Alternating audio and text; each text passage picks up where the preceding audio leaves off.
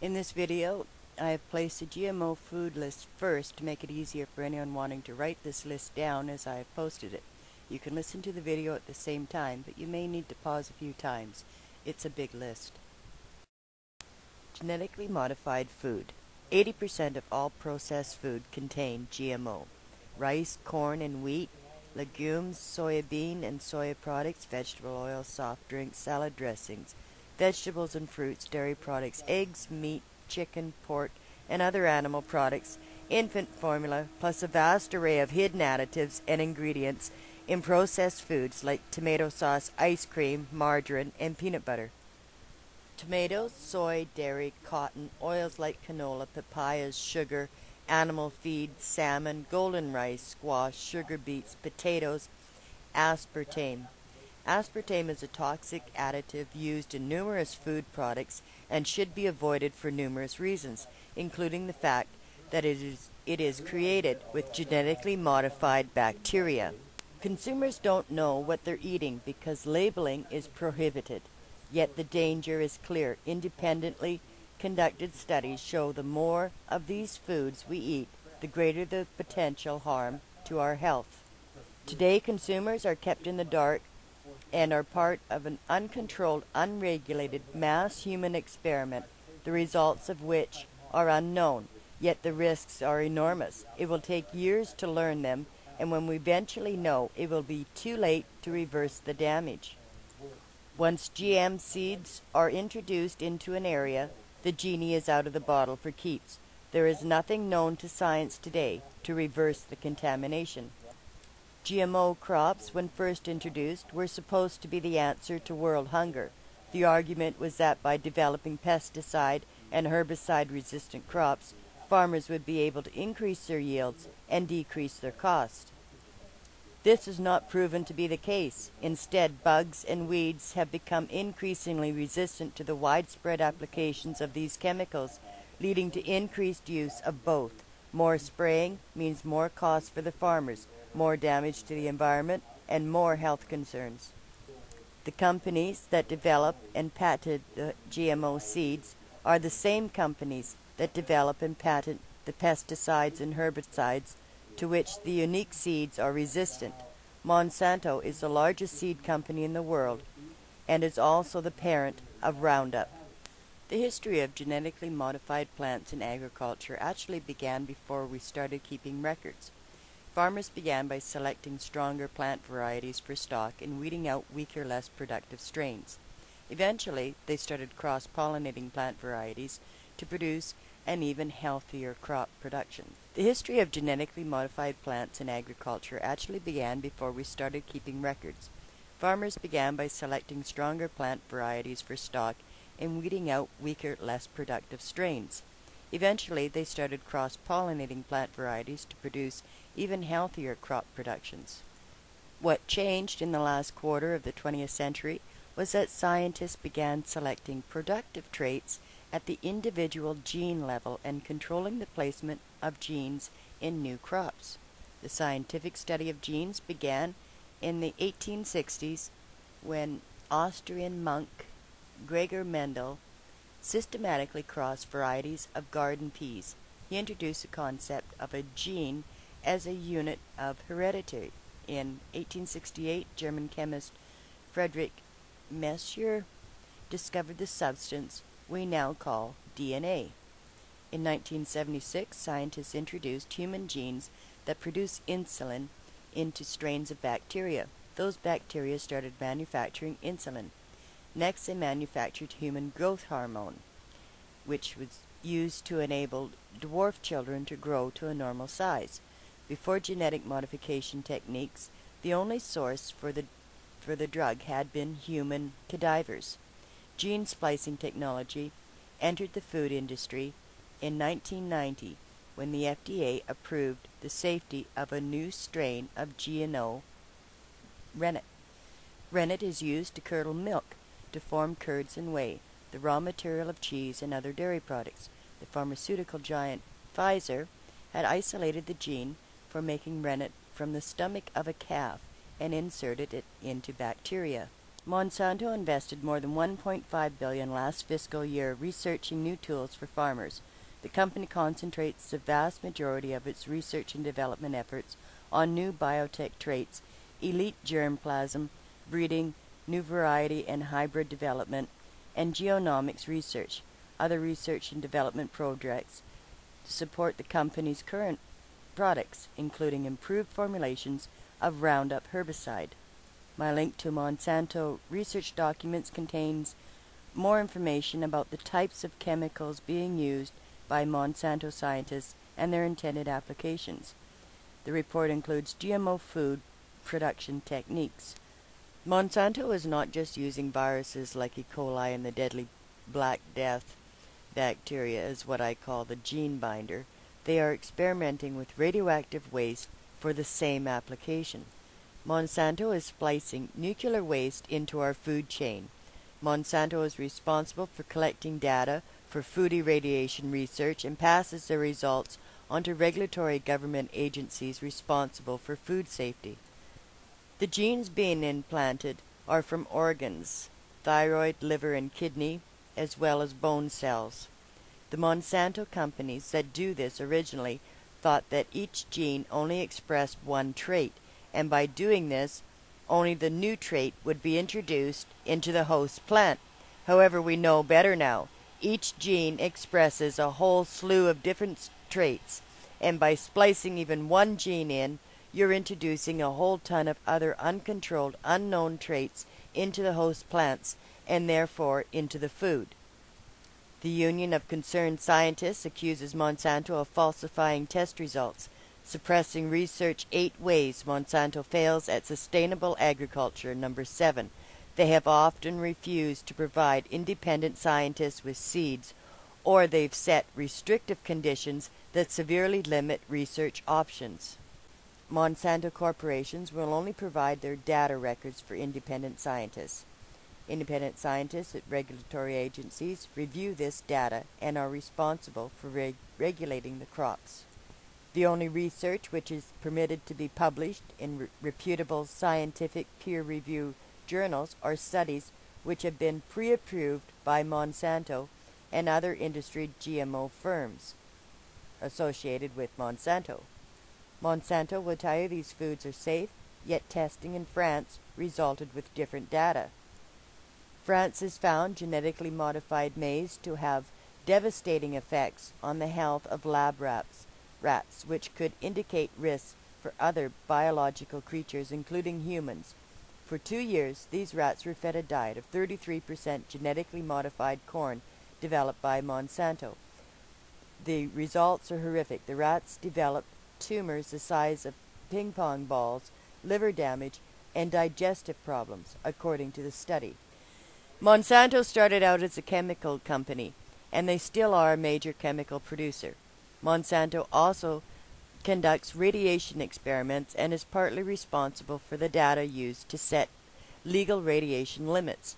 The research data proves the exposure to low level radiation is linked to many cancers, whereas high exposure is more likely to result in leukemia. 65 health risks of GMO foods. GMO potatoes damaged rats. Rats fed GM tomatoes got bleeding stomachs. Several died. Rats fed BT corn had multiple health problems. Mice fed GM BT potatoes had intestinal damage. Workers exposed to BT cotton developed allergies. Sheep died after grazing in BT cotton fields. Inhaled BT corn pollen may have triggered disease in humans. Farmers report pigs and cows became sterile from GM corn.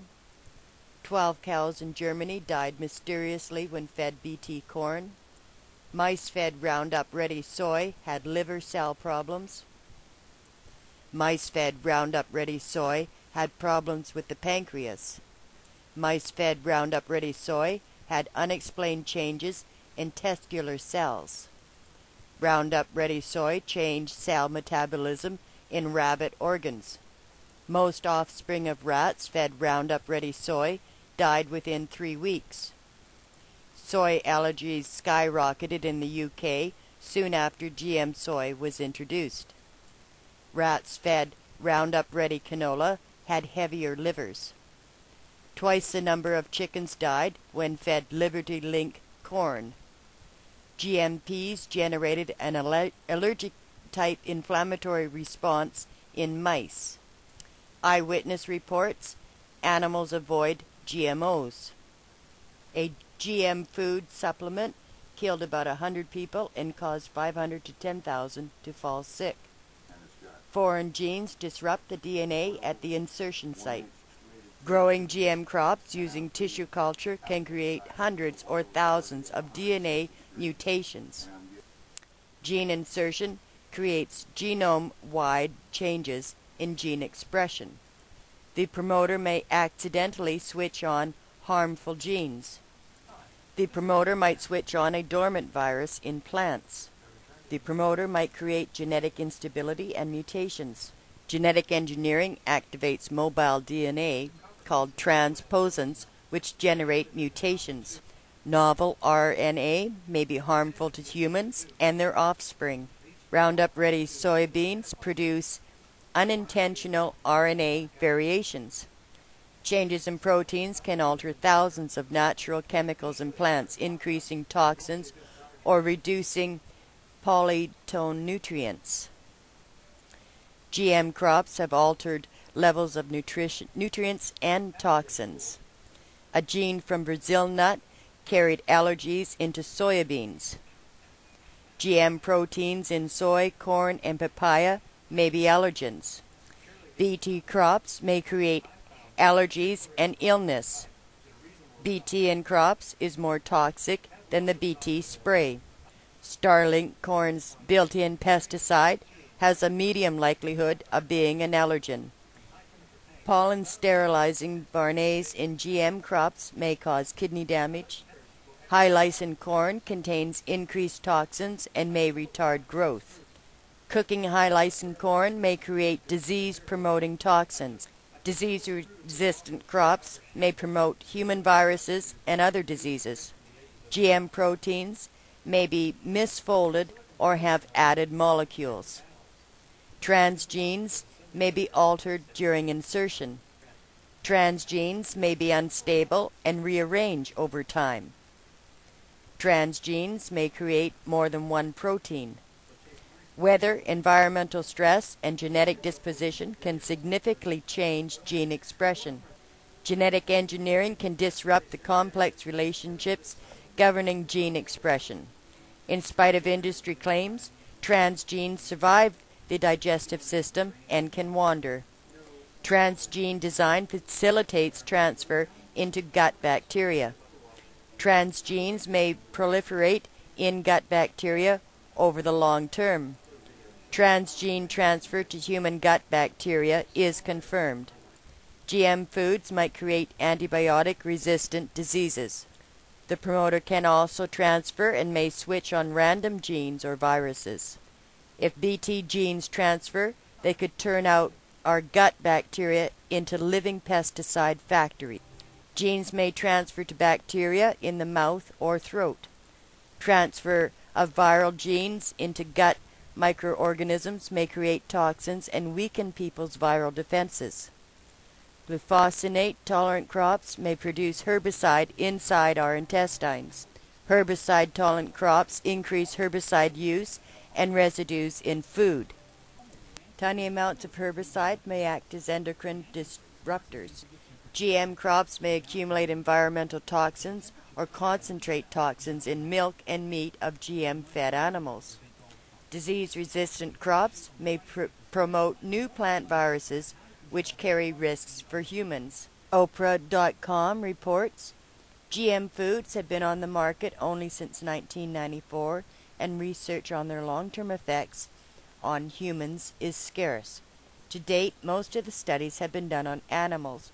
Worryingly, though, some of those studies link GM foods to altered metabolism, inflammation, kidney and liver malfunction, and reduced fertility. In one experiment, multiple generations of hamsters were fed a diet of GM soy. By the third generation, they were losing the ability to produce offspring. producing about half as many pups as the non-GM soy group.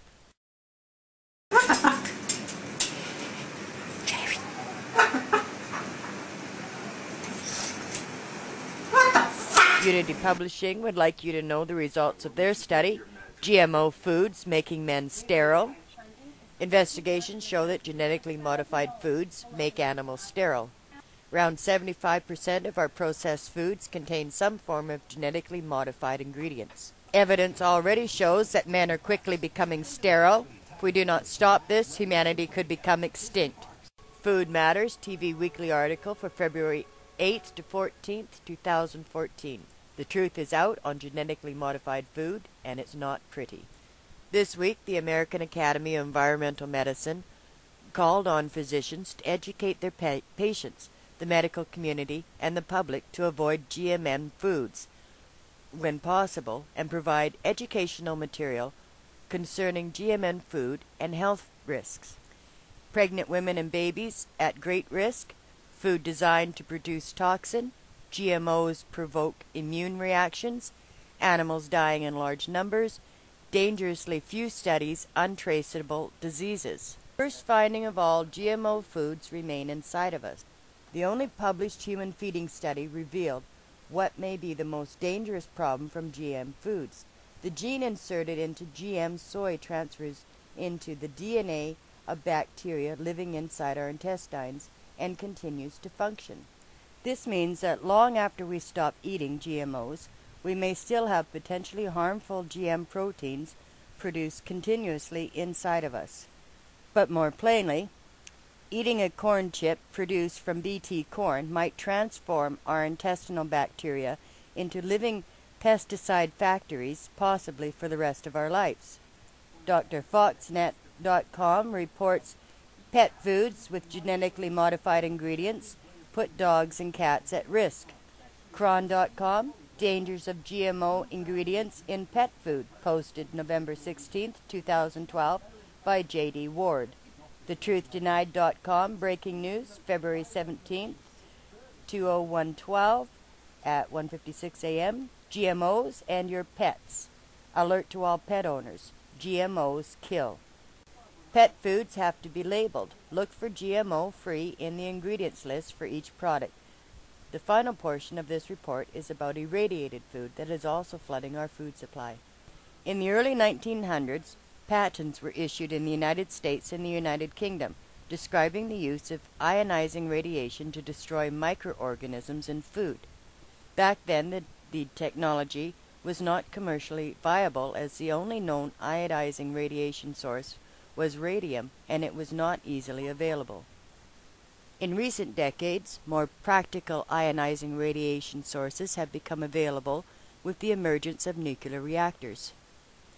Cobalt 60 and cesium 137, man made radioisotopes, have been found to be considerably more effective than natural radium, so the U.S. AEC released nuclear waste to U.S. academic researchers. The International Atomic Energy Agency, the Food and Agriculture Organization, the World Health Organization formed the Expert Committee on Food Irradiation in 1970. In 1980, the committee concluded that the irradiation of any food commodity up to an overall average dose of 10 kgy presents no toxicological hazard. Hence, toxicological testing of foods so treated is no longer required. Monsanto is woven into the fabrics of these industry agencies. Monsanto provides a use for their industrial waste, performs regulatory testing for each sector, and is solely responsible for data collection, which is used to set industry standards as well as health and food safety regulations. In return, nuclear and chemical industries, along with the U.S. Canada government, are Monsanto's biggest lobbyists. Last year marked the 50th anniversary of an agreement between the World Health Organization and the International Atomic Energy Agency.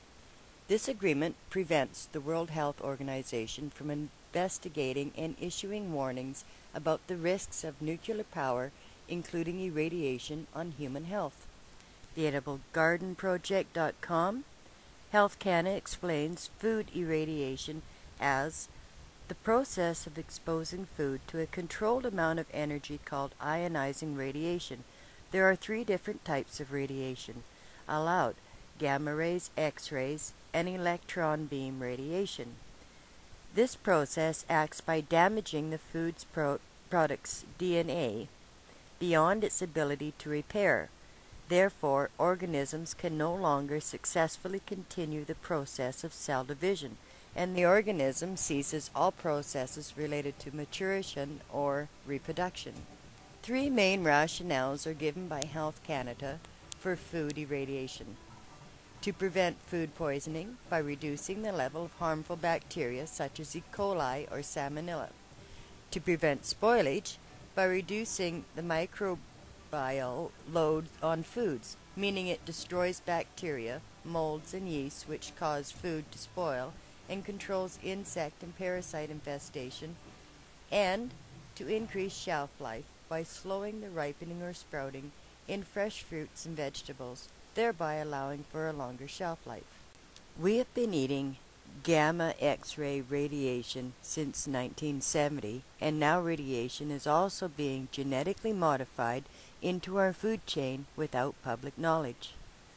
Corrupt industry officials have always placed more values on their profits than on human life, and falsifying reports is just part of their normal operations. As long as they are permitted to continue to blindside regulatory officials and the public, these industrial monsters will eventually end all life forms on Earth. Cancers are already steadily increasing, and this trend is not likely to reverse. Soon to come, global water and food shortages.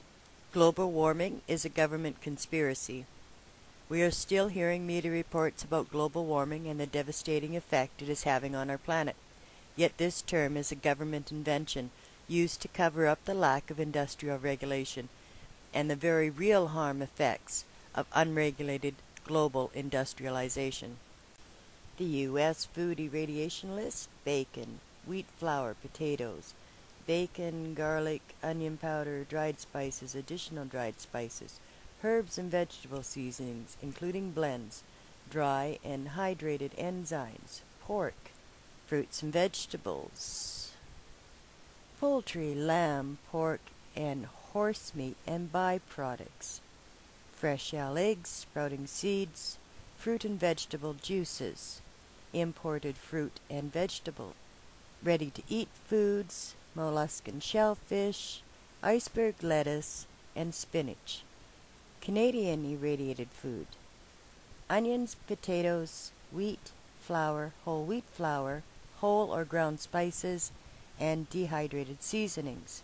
This report is meant to help people make informed choices. Whether you choose to eat GMO and irradiated foods is your choice. Thanks for listening, and may God bless you.